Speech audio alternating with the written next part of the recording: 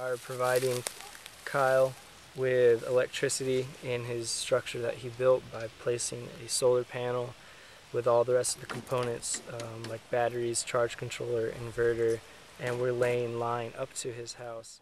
Uh, I'm Ben Rucker. I'm from Nashville, Tennessee, and I don't know. I got lots of interests as far as being here. Kind of everything. Just keeping on learning new things. But my focus project, along with Patrick. My name is Patrick Bolger. I'm 22 years old, and I came from Ventura, California.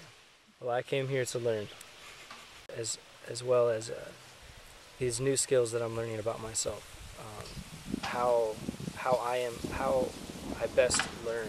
And focus area here is renew- renewable energy.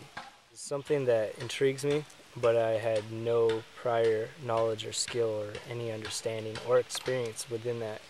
And uh, right now I'm trying to attain a holistic understanding of what it takes to operate, um, to start up and operate a, uh, a farm like this one.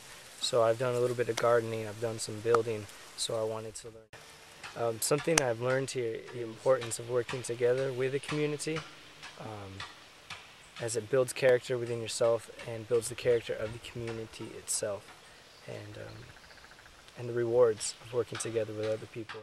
My name is Ben, and I'm from Tennessee.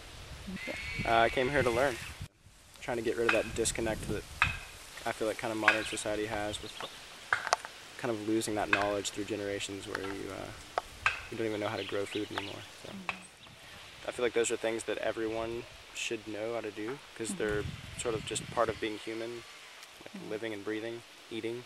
Um, and you can be dependent on other people to do that for you, but I think it's a good thing to know how to do those things yourself um, and really understand the process.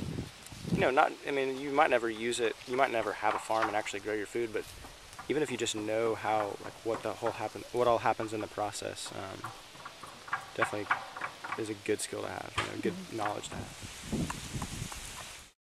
Well, if, if they're like me at all and they come out of college realizing they still don't really know what they're going to do, um, it's a great idea. It, it definitely, if anything, it's kind of almost overwhelming because it's opened so many doors and, you know, kind of like brought out the voracious learner within me to like all these new things. And um, so if you're looking to for any kind of like clarity or direction, um, it's a very good opportunity.